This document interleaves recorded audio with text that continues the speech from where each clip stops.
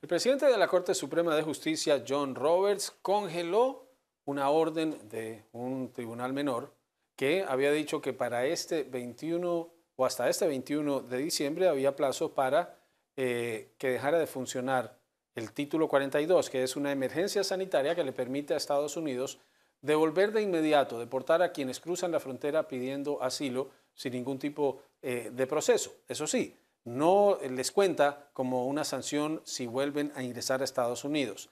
Pero ya en un documento muy breve, el presidente de la Corte Suprema le pidió a la Casa Blanca que presente para mañana martes antes de las 5 eh, de la tarde sus argumentos sobre por qué se debe o no se debe eh, extender la implementación de este programa que entró en vigor durante la presidencia de Donald Trump.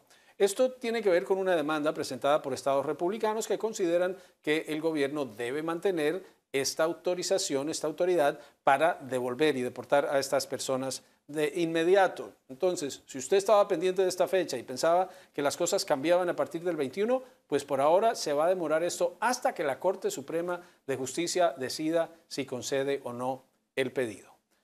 Veamos primero qué es el título 42.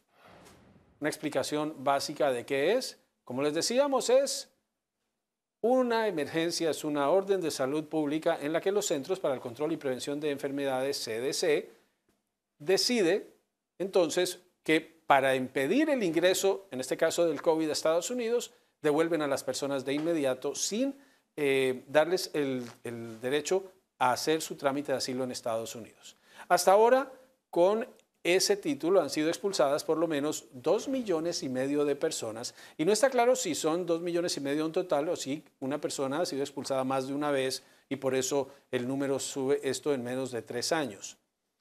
Según la información de la Oficina de Aduanas y Protección Fronteriza, del 1 de octubre de 2021 al 31 de julio de 2022, por lo menos 700 mil desertaciones de inmigrantes de numerosas nacionalidades. Esto es personas de diferentes eh, nacionalidades a México y a los países del Triángulo Norte de Centroamérica.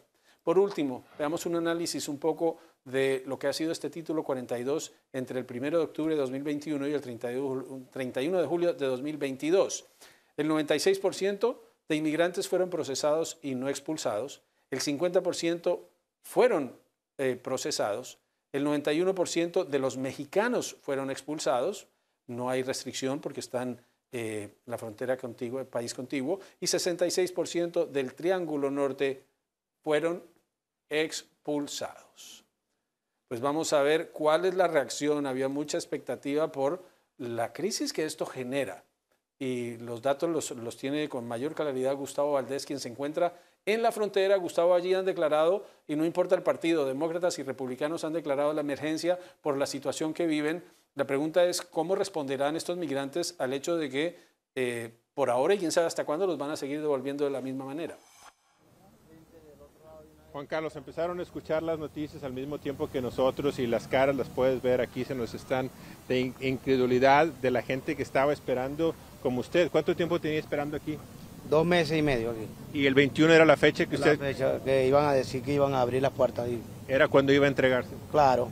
Ahora, qué hacemos ahora? A ver, y usted viene con su, con su niña. ¿Cuándo llegó usted para acá?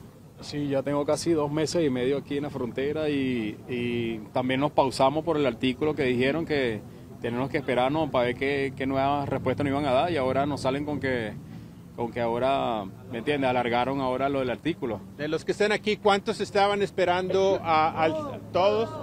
Tengo alrededor unas 50 personas, Juan Carlos, familias enteras, jóvenes, que están haciendo. Milagro, ¿dónde está? Se me fue Milagro.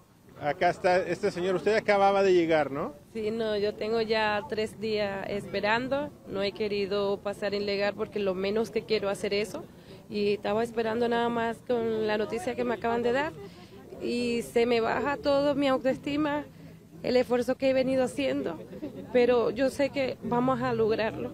Yo sé que va a haber algún momento donde ellos no van a dar la oportunidad. Hemos visto que gentes de otras nacionalidades pasan, los venezolanos se han tratado de cuidar. ¿Me pueden explicar a alguien por qué han querido esperarse ustedes?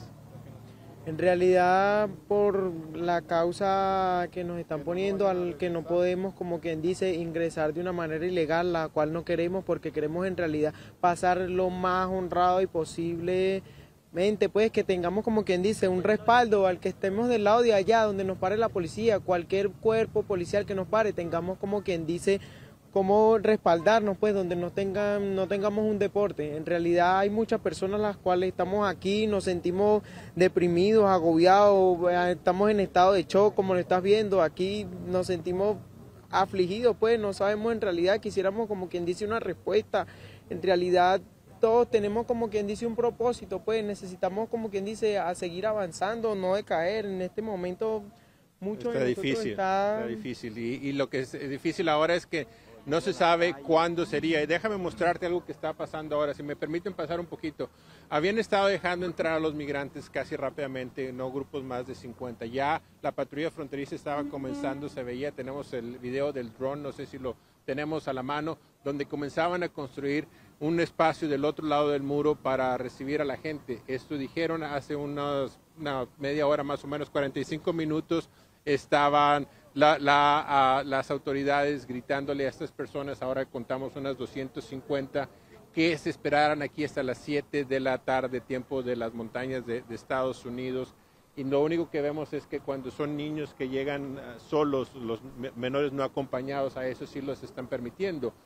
Nos creemos, el entendemos es de que les pidieron que se esperaran acá porque vimos que comenzaron las labores de construcción de las tiendas de campaña que, está, que están de ese lado, pero como pueden ver la gente sigue llegando eh, eh, una cosa, Juan Carlos, que en esta ocasión me ha llamado mucho la atención es la gran cantidad de personas que están llegando por tren. Generalmente llegan en caravanas caminando o en autobuses o se van a... Hay mucha gente que está utilizando el tren desde la Ciudad de México para venirse hasta acá. Y bueno, ahorita te puedo decir que, la, que, las caras de todas estas personas a mi, a mi alrededor eh, son una muestra de esa frustración que sienten en estos momentos sabiendo que el miércoles no es el día que ellos esperaban.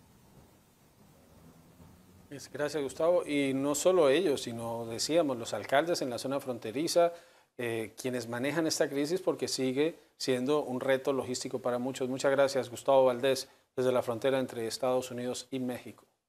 De la frontera nos vamos a, Nueva York.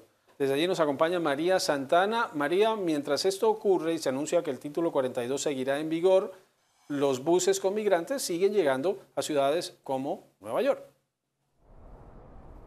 Sí, así es, Juan Carlos, y funcionarios aquí en la ciudad han estado eh, sonando las alarmas sobre lo que dicen podría ser una nueva afluencia de inmigrantes.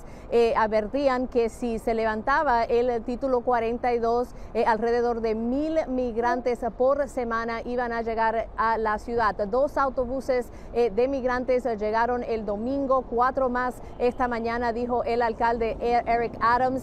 hay que destacar que esto no tiene nada que ver con lo que está sucediendo con el título 42, porque no ha sido eh, levantada esa regla, sino que eh, autobuses eh, de migrantes desde la, frontera han estado llegando a Nueva York durante meses. Nueva York ha recibido a más de 30 mil migrantes desde abril de este año, enviado principalmente en autobuses por el gobernador de Texas, Greg Abbott, y otros alcaldes en el estado de Texas y Arizona también. Así que la preocupación del alcalde Eric Adams es eh, principalmente los refugios. El sistema de refugios de Nueva York está operando casi a capacidad y dice que Nueva York necesita eh, al menos 3 eh, mil millones de dólares hasta el 2026 para lidiar con esta crisis. Le cuesta a la ciudad de Nueva York, dice Adams, mil millones al año para alojamiento, para educación, para servicios y recursos adicionales que necesitan estos solicitantes de asilo al llegar a la ciudad de Nueva York. La gobernadora también ha estado, eh, Kathy Hochul, muy pendiente a toda esta situación. Dijo que ha estado hablando con eh, la Casa Blanca, con el Departamento de Seguridad Nacional para pedir más recursos para la ciudad de Nueva York. Pero por ahora eh, la situación permanece igual, aunque van a seguir llegando estos autobuses a la ciudad de Nueva York. Juan Carlos.